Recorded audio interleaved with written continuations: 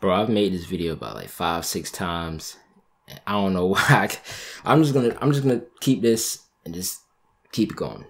Hello. Hi, we are here. We are in the end game. This is the final day of 2019, the final video of 2019. 2020 is literally around the corner. It's like tomorrow. It's 2020. Hopefully everybody's been having a good day, a good 19, a good Christmas, whatever, whatever, you know. Uh, there's a few things I want to talk about in this video, which I should have wrote down because I'm not good at remembering, but hopefully I don't go too far off in this video and have this video get drawn out and stretched. Um, probably hit the 10 minute mark. Ah ha ha, say no. But seriously, the first thing I want to talk about is this year. This year has been interesting. Um, I started this channel 10, 11 months ago basically a year ago. And when I first started, bro, and I think the first video I made was the SMG4 video, which I, I deleted. But when I first made the video, I didn't think we would hit 9,000 fast because we recently hit 9,000. Shout out to everybody who's been liking and subscribing. I appreciate you, bro.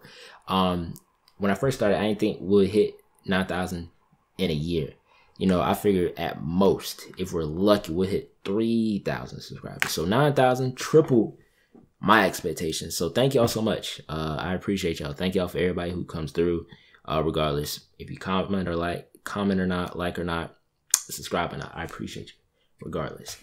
Um, now, and I was just looking at the videos of where I first started and it was just, it was just really interesting and really cool to see where I was then versus where I'm at now.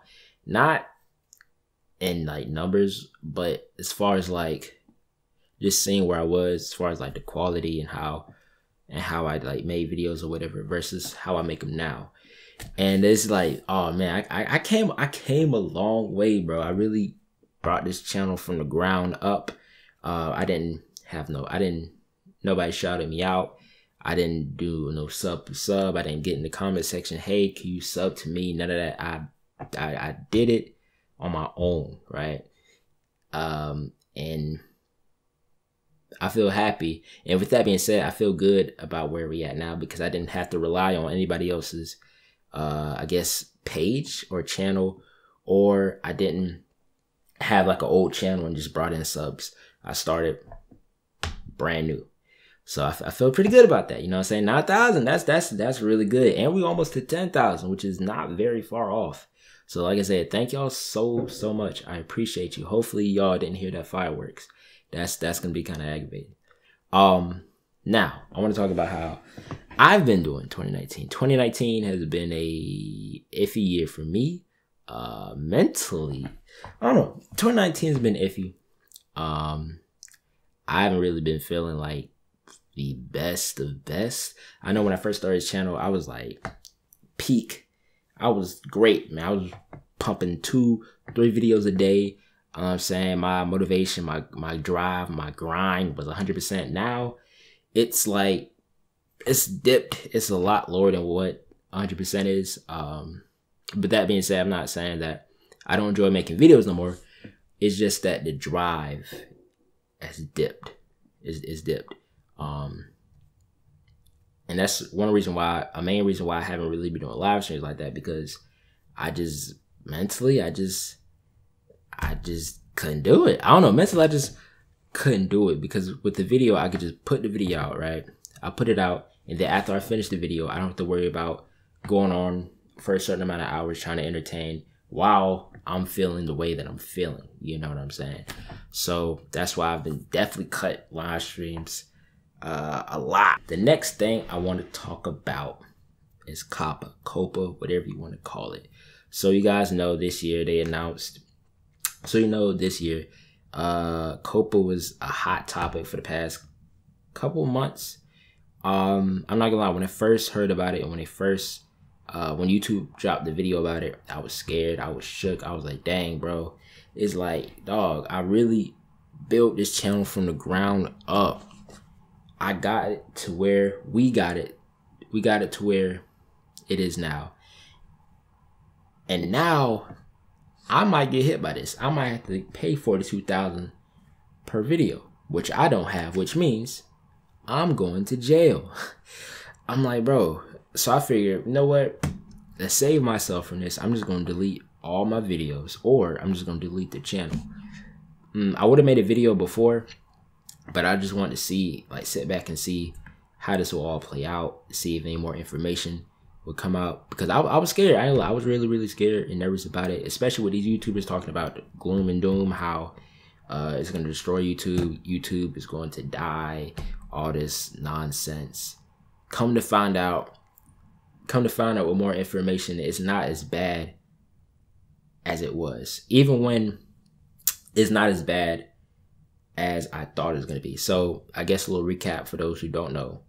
YouTube was targeting personalized ads to kids. They weren't supposed to. It's illegal. But since they were getting away with it, it was like, all right, fine. We're going to keep pushing these ads. Who's going to stop us? FTC said, ah ha ha, what you doing? Nah, you ain't, nah, you ain't supposed to be doing this. But that's all good though. We're gonna we're gonna hit them pockets. So I forgot how much they found them. They found find them a lot, a lot, a lot of money. YouTube got hurt financially. And uh because of that, they was like, you know what? Because we got hit, y'all gonna get hit too. So they made a video talking about um you have to start marketing videos uh, for kids or not for kids. If it's not for kids, cool. But if it's for kids, you lose out a lot of channel features, very important, critical channel features like notification. You lose um, your your videos don't get pushed out like it's supposed to. You can't save videos in a playlist. Your comment section is turned off, and a lot of like you cut off. They cut off ninety percent of the revenue. I think it was ninety or seventy they cut out a lot of the revenue. And um, I'm gonna keep it. I'm gonna keep it a buck with you. If the if like when they announced COPPA, and if the only thing that happened was they cut the revenue like 70 or like 80 percent, I wouldn't be mad. I wouldn't care because I figure if that's the only thing that they're gonna mess with and nothing else, that's fine. I still can get pushed in the algorithm. I still have a chance to grow. You know what I'm saying? But not only is your revenue cut, right? Your revenue's cut. They don't push you. Matter of fact, I don't even think you were even in the algorithm. That video is not even in the algorithm. And they don't push the videos to the sub box and you don't have a comment section. It's like, what's the point of making a video? Like, what's the point of of having a channel if you can't have a, you know what I'm saying? That's that's retarded. So I was shook. I was shook. I was like, man, I'm gonna delete my videos. I'm gonna probably delete the channel. like, I'm glad I didn't act on it because turns out it's not as bad as people was talking about. You know, um, and then later down the road, YouTubers, these two YouTubers that I watched, Creekcraft and Dan TDM, they actually went to COPPA. They actually went to the FTC, I should say. They went to the FTC. They actually talked to the commissioners. And basically what they said is the majority of channels should be good. The FTC is looking specifically for channels and videos that are obviously targeting children. So basically, like the the nursery rhyme type content, looking for, I guess, very, very, very family friendly type channels people who's making like regular type channels, they should be straight. Like they'll they'll be fine. Y'all y'all be okay. Y'all gonna be okay. Uh, because according according to Creekcraft and according to Dan TM, to people who actually went to the FTC, they said basically, as long as you're not strictly targeting kids, like as long as you're not doing like no noggin type Nick Jr. type content, type uh nursery rhyme, you know what I'm saying? you should be straight. You should be fine for the most part. But don't take my word for it, you know. That's just what I got from them. And because they talked to the FTC, those only two people that I'm going to consider. Everybody else's videos re- irrelevant because they didn't talk to them, you know. Had me worrying about, oh man, my channel's good. I'm gonna delete my channel. I'm gonna have to delete these videos. Come to find out, it's not as bad as people are talking about. So, uh, there's that. there's that. So, um, our channel should be straight. It should be fine. I'm not worried about it. And also, too, they said that you won't get fined $42,000. Uh, from what they were told, they said that they, you're to get, if you were to violate the the COPA law, you're not gonna get fined forty two thousand dollars, but you are gonna get fined to the point where it doesn't bankrupt you, but it does hurt you. So in my head, in my mind, I'm thinking, okay, maybe a maybe a couple thousand, which is a lot, but it won't bankrupt you for the most part for for the average uh person. So that's that for the COPA thing. It was blown way out of proportion. Um, I'm glad we got more information about it, and yeah, yeah, yeah. That's it. That's it. So next, I want to talk about going forward in 2020. Going forward 2020, I want to make I want to put more effort into the videos because especially the past month or two or three maybe. I've been I just been looking at the older videos and it's just like dang bro. I really had no enthusiasm. I didn't really have no drive. I just got up here reacted dipped. Like I didn't I wasn't really I don't know I wasn't really happy making the videos. Not to say I didn't like what I was watching but just it was no it wasn't really a lot of effort into the videos because I know even when I first started I put a lot of effort into the older videos but with a lot of the recent ones I'm looking at I look at is like bro I'm not proud of. I'm not proud of the, of the videos that I've made. Um, so going into 2020, I want to make. I want to make videos that I put my 100% into. I want to make videos that I feel proud about, you know, and that's what I'm going to do in 2020. So I guess expect more quality, expect more effort into the videos, um, because I want to do better. This year I haven't been doing better next year I want to do better, a hundred percent. And also too, um, a gaming channel.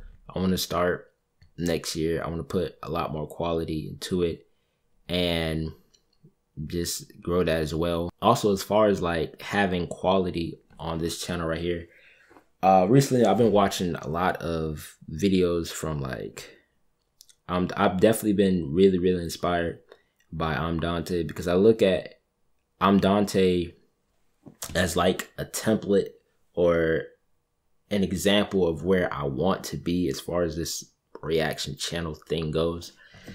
Because I've always respected ImDontai because his his edits are very, very, very clean. He always puts 100% into his videos. It seems at least, you know, and also too, he has a strong community, which I want to have as well. I look at channels like Dwayne and Jazz. I look at channels like Charmax. I look at channels like Prince Charming. I look at channels. I think D and D and B Entertainment, which is Brandon Rashad and D Chanel. You know, they they got it. Like they they all got it. They all got it, and that's why I eventually want to be and want to eventually cultivate a community like that because I always have I don't know even for me like even like like even now we have a community. Um, I feel like we have we have a we have a pretty strong community as right now, but I want to eventually have it even bigger. You know what I'm saying? Spread it even farther. You know what I'm talking about? Um, because I know with a lot of reaction channels, they usually people usually come for the videos, but it seems like y'all come for that too but y'all come for me as well. And I appreciate you, you know, because I've made a lot of videos in the past. And one of the things that I really pride myself in making, uh, one things I really pride myself when I made uh, these channels is a community, basically having like a hub of supporters. I don't like using the word fan. I don't like using the word family because, you know, a lot of, a lot of like the bigger YouTubers be using it and then turn out they be scum. They be like, they be they be wilding, they be wilding. So I don't like using fans. I don't like saying family. I like saying I'll say supporters, viewers, the homies, um, because that's what y'all are. Um, so I want to build a community. I want to have y'all more involved into the videos as much as I can. Of course, it's a reaction channel.